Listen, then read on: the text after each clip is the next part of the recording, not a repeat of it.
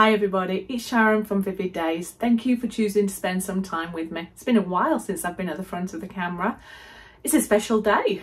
Wanda, we did it. We finally got our collaboration together. Thank you so much for your patience while I took time off to get married, change different jobs and get life admin sorted.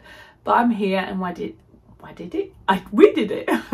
anyway, this video is all about how I created this I think, a lovely concept which is done on glass picture frame, lots of layering, including um, the flowers. Um, but the theme was love, and uh, this is what I channeled. This is for my Neil, it's forever love, so he'll get to see it tomorrow, which is your today. Hopefully, he'll put that on his wall, and there's enough man colour in there for him.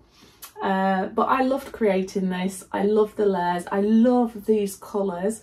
And I think that's one of the great things about doing this mini challenge uh, has been that it's been liberating working with colours that I wouldn't normally work with and uh, enjoying what you can create with it and being inspired. So art journaling is something that's going to feature in my channel. So this isn't the mini challenge. Uh, this is one for our collaboration, so pop over and see Wanda's uh, Blessed Creation. I'll put a link in the description. I cannot wait to see what you've created. Share the love. And also, if you enjoy this video, thumbs up, subscribe if you're not already, and comments are always welcome. Uh, other than that, I hope you enjoy it. I hope you feel the love, and I hope wherever you are in the world, you are safe and you're creating. I'll see you shortly. And if you haven't seen my uh, um, mini challenge, maybe pop over and have a little look at all my back catalogue. Anyway, I digressed, didn't I? Speak to you later. Bye bye. Hey everybody, I am going to talk you through the ingredients for this. The first Amsterdam one is a turquoise. That gets used in uh, the later layers. I'll tell you as I'm doing them. Then there's also a turquoise green, which is also Amsterdam. I have a Liquitex Basic, which is brilliant purple, followed by a Pebeo, which is a rose fluorescent colour. In the Mont Marte, that was also a uh, fluoro acrylic, which was magenta and then in, as I go over it's Resi-TINT which is the aluminium. And then with Resin8's sky blue Tresco blue and deep pink. There's one additional one on there which is vintage rose which I forgot to put in that video. The colour that, that I applied on my base to start with is the turquoise green. Absolutely love that colour as it complements these blues pinks and purples uh, adding in my Resi-TINT aluminium now just be careful when you apply that because if you apply a lot of heat it could go everywhere. Deep pink is what I've just added and here's the Rogue one which is a little bit that vintage rose and I'm slowly seeing how these colours are going to respond in the resin. Uh, the only thing going through my mind is at this stage is I wanted to make sure that the turquoise green had enough visibility because I knew that I was going to be layering these colours. That one is the sky blue I'm using there. Now that is the Mont Marte, which is the fluorescent uh, magenta, fluoro magenta. Absolutely love how it responded. And also layering in a little bit of that deep pink. And this is as exciting as it goes. Um, there is a little bit more of the, uh, I think that's the, um, yeah, that's the sky blue one uh, coming through. And I just allow it to sit a little bit, come in with my heat gun, just try and blend it together I wanted a very nice floral inspired feeling with this or very romantic. It's been inspired by some of the roses I've been looking at and bouquets, but also some of the colours I've been working with. And uh, I just knew I wanted to see if I could bring these colours that I've enjoyed on acrylics into resin. It is important you make sure your board is level. Now, I could have done with using a little bit less resin than I used here. I mixed uh, I think this was 100 mils and I could have gone slightly less because if you're going to layer these molds, you want to be able to add at least three layers. Anyway, got rid of my bubbles and just letting you see how it currently is. Now, this is going to keep moving and it, it does change a little bit the image, but not drastically. So I'm going to cover it all up. Layer one is done and we're going to start to work on layer two. So this is where you have to trust a little bit of your uh, mind's eye as far as what part do you want to protect on the lower piece and what colours do you want to add. Now, I'd lost a lot of the floral colour So I wanted to bring that back, but I still wanted to protect the top left hand corner of uh, my mold because I really wanted that um, that lovely um, turquoise green to come through uh, because this is going to be a nice little present for my Neil and although it's romantic colours it's in there and it's a bouquet it's going to be on his wall so I want it to have a, enough representation of colours that I think he will enjoy as well. Um, this is where you have to apply a bit at a time now I decided rather than adding my clear, I would add the colour to the areas that I knew I wanted it to be. That way I'm going to get a little bit more control. And it's really hard when you're mixing up colours for such a small amount uh, to keep into that 10% and then not overcommitting. I actually did really good. There's very little leftovers um, on this project. And I was, I think, I think I did good with my restraint, but I'll let you be the judge of that. So I've just added a little bit of the deep um, pink, uh, the fluoro colour, and I'm coming in with a sky blue. I reckon that I didn't use this Tresco blue. I think I must have just imagined it and it was the vintage rose that I should have swapped it out for. So far, we've not used the Tresco blue. Um, so, oh, did we use it in the first layer? No, we didn't. We used the uh, sky blue. Look at me talking to myself. If you haven't already and it's the first time you're watching my channel, please consider subscribing if you think my content is something you would enjoy. Also, if you are currently a subscriber, thank you for all your support. And if you're enjoying this, please consider giving me a thumbs up. I absolutely love interacting with you, so comments are always welcome. And if you are inspired by any of my colours or my work, remember there is a hashtag which is hashtag Sharon Lindley inspired me. That really helps me as well um, get my name out there. But more importantly, it helps me have a look at your work that you've created because that really gives me satisfaction as a person and as an artist. Anyway, back to the project at hand. So I've left this all real time so that you can really understand the process and how I work with this. Hopefully that will help you with the process should you want to follow it or it gives you an idea of the way I apply my resin. Now this is where magic starts to happen. I'm now putting clear in there. The reason I'm putting clear in is to protect that area. Obviously you need to have a, or I want a level resin piece. But some beautiful things happen when you add clear resin. You see it start to push back the pigment. You might not be able to see it as close up as I did. And you could really, in theory, leave it the way I do to start with until I start blowing it and uh, creating some effects because it slowly then seeps back into it and it gives you this really nice ombre um, graduation of those colours. And you can see that sky blue is just responding so beautifully to the um, magenta floral colour. And uh, when I look back on the video, although I love my end result and I wouldn't change it, it's giving me ideas for future effects. Now again, I'm applying it a bit at a time and you might think, Sharon, come on, just slap it on there. Well, no, because it's this is nearly at the top of the mould and it's not about how much resin I put on there. It's really about just slowly layering it and you can see time lapse there. I waited 15 minutes until I, because I wanted to see the effects. Then I come in and hand, uh, hand, apply a little bit of heat. And when I look back on it, I could have stopped it the first go around, but it just wasn't doing what I had in my mind's eye. But this is the beauty of watching back your videos again, because you get to see different effects. Now, I'm trying to make sure I'm not over committing with the heat because I don't want it running over the uh, end of the mold but also I don't want it going too far into those areas I'm protecting. One of the final stages I do is get my little um, uh, light and I come through, look for dust, make sure there's no hairs and then I did a little bit of swirling um, just to add some uh, feature. Once I'd done it, I thought, mm, I didn't really like that. So I come back in with a heat gun and, and blow it away. However, when I look at it now, it looks like some dramatic coral underwater. So absolutely love these colours. Anyway, we're about to finish uh, layer two and we're about to come on to our final layer. And this is where you'll start to see me introduce a little bit of, um, well, not a little bit, you'll see me introduce the glass picture frame.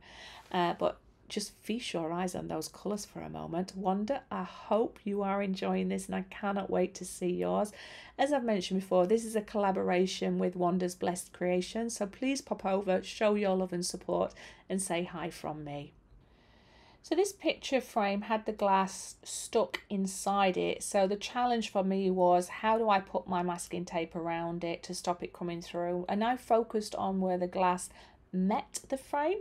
Really, I should have looked for the um, the outer edge because they glued the frame in. So the leakage came from around the frame that attached the glass to it.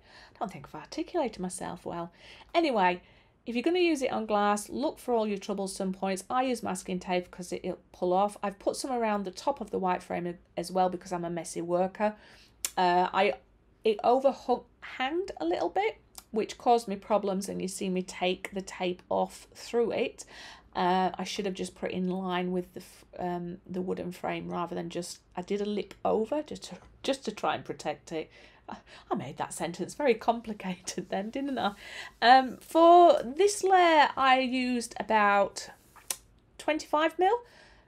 The second layer I used 50 mil. The first layer I poured 100 mil, and I probably only used 75 mil.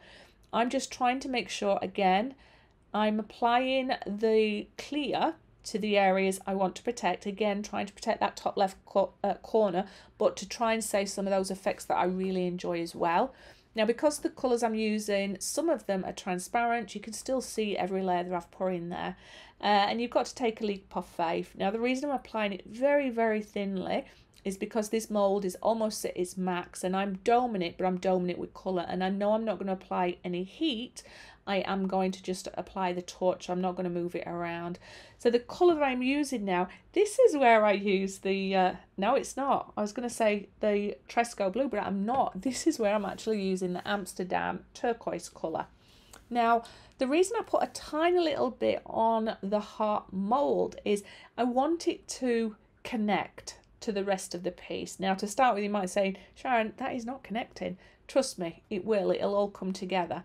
So I applied my the Amsterdam uh, turquoise colour majority to the picture frame below because that's going to be a darker colour. It should help make the centre pop a little bit but it should be sympathetic to the other tones and I'm now applying a little bit of the uh, turquoise green uh, which is a colour that I have used in uh, the heart.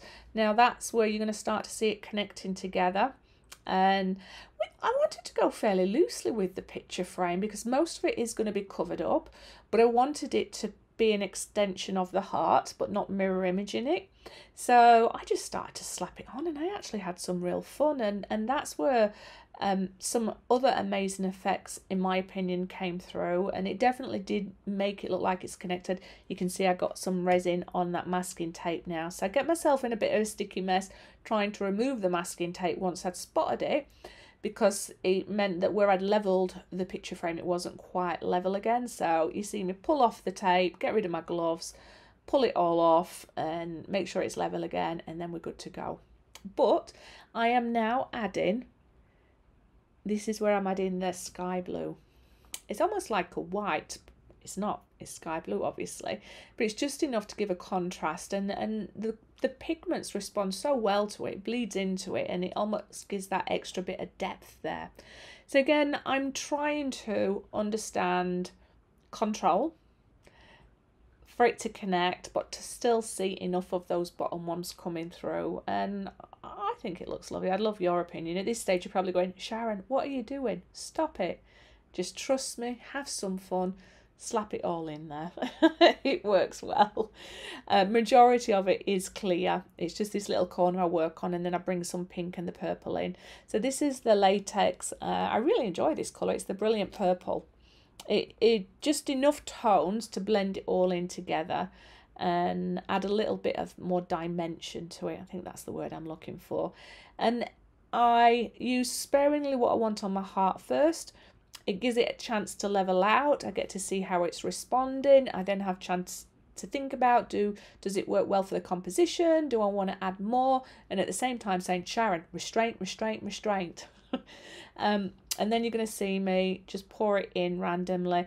I know that the corners are going to be seen, but the middle isn't. So I spend, spend a bit more time on the corners on the picture frame. And I'm trying to think about where the colours are on the heart so that it could make sense when I put it on underneath. You could have just stuck with a solid colour, which is what I've done before on the other two that I've made. Uh, but the, with this one, not so much. Uh, I'm going to have a little think about what I want to say next. But I hope you're enjoying this. I hope that it's adding value to you. And uh, I hope you're enjoying seeing this piece come together, Wanda. So I'm about to add the pink and silver and that's when you'll see the heart all come together and you'll also start to see some amazing effects in my opinion coming on the picture frame. I will take you for a flyover so you get to see the uh, colours and all the effects but in the meantime I'm just going to put a little bit of soothing music on for you uh, until I talk through when we're at demolding stage and showing you the picture frame.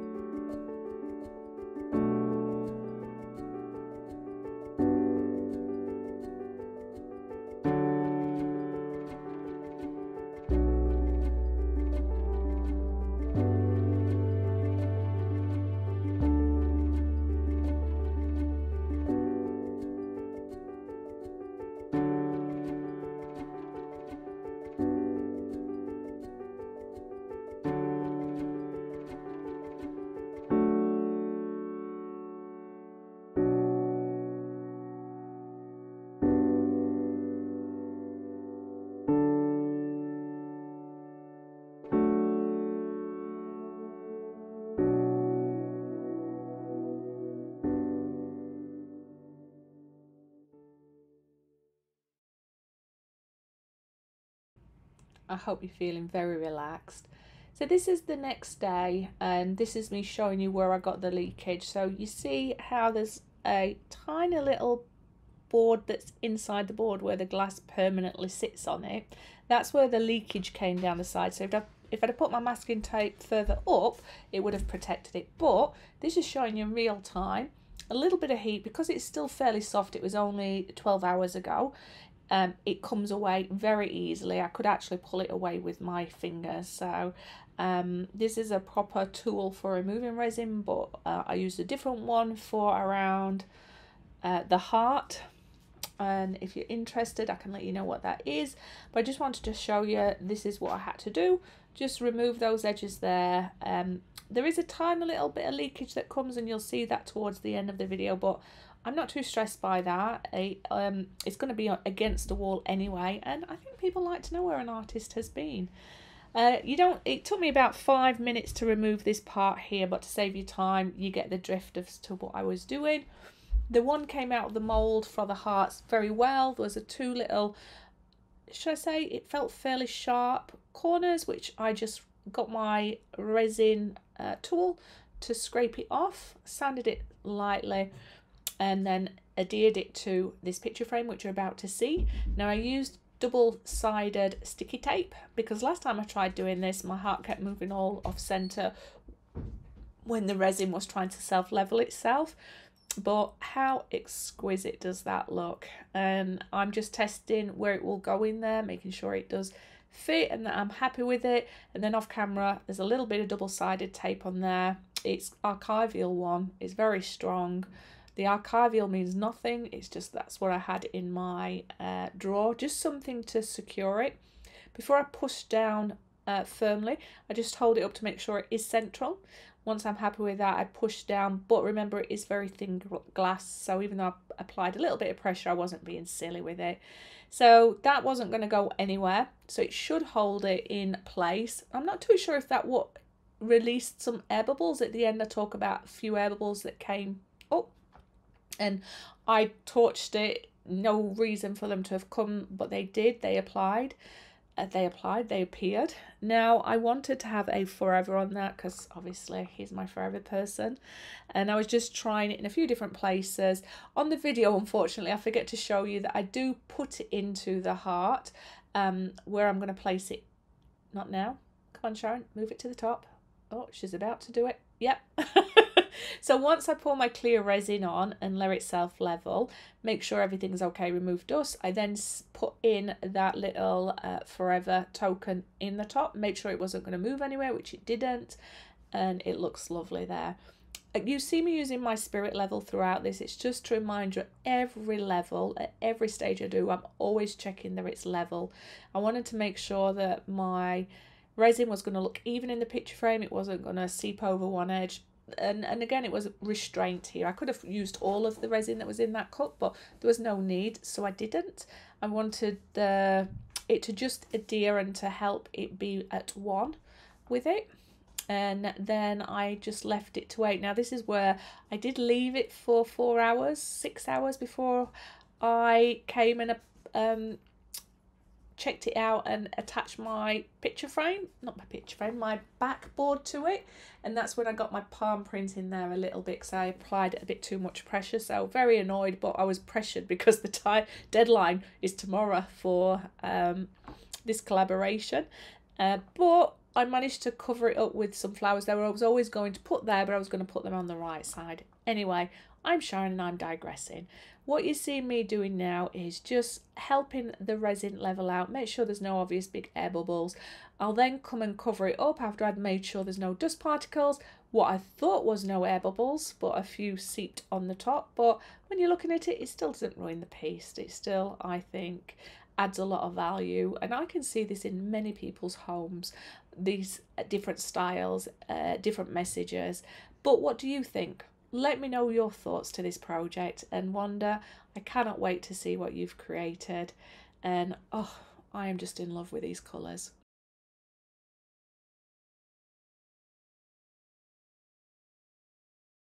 So here we are for review and I absolutely love this concept. There's a few things that I can improve on for next time, um, which is the back where I tape it to stop it coming through. And also, um, there's a few air bubbles there. I thought I'd tried my hardest to get rid of them, but this is going to be for my Neil and he will love it. I'm sure he will. Um, yeah, forever. Oh, just look at that depth though. And I really love the addition of these flowers that I put together myself. They were going to be of this side, but I touched my resin a little bit too early and I've left my little palm print there. But, you know, it's Neil again. So I'm forever there with him. I just hope that the colours come through in here. Just that layering added so much depth and movement. And I just am in love with these colours together. And I think that at the side just pops it off. So these are great ideas for every day, Mother's Day, Valentine's Day, uh, the world's your oyster. So I'm going to show you many different concepts of this. And it it is all sealed up, just a little bit of runs down, but that's the something I'd perfect. And you may not want to put the flowers there. You might want to put some either side, but I didn't want it to be even. I've got my odd number like one, two, three. And I quite like them hanging off the edge there. So it looks like I've just been out in the meadow and picked them. So please, please, please make sure you do pop over and see the amazing Wanda from Wanda's Blessed Creations. Say hello from Sharon from Vivid Days and have a look at what she's uh, created in our collaboration. I cannot wait to see it. She is such a beautiful soul who's been so patient with me while I've got my life in check and been able to finally work on this collaboration together. Um, I hope this has inspired you. If it has, remember, hashtag Sharon Lindley inspired me so I can look at your creations. Let me know what you think to this colour scheme. And what I really enjoy about this colour scheme, colour scheme is I was inspired by doing my 28 day mini challenge. If you've not seen that, pop over and have a little look. The colours I worked on there inspired this piece. So it is worth just pouring some colours and going crazy and having fun on an art journal uh, because you never know where it's going to lead you. I just love this. Anyway, if you thought that this video was worth it, thumbs up, subscribe, share, comments are always welcome. And uh, yeah, let me know what you think to this. But I will see you on the next video. Wanda, I hope you enjoy this. I hope it fits the brief. And I cannot wait to uh, see your video.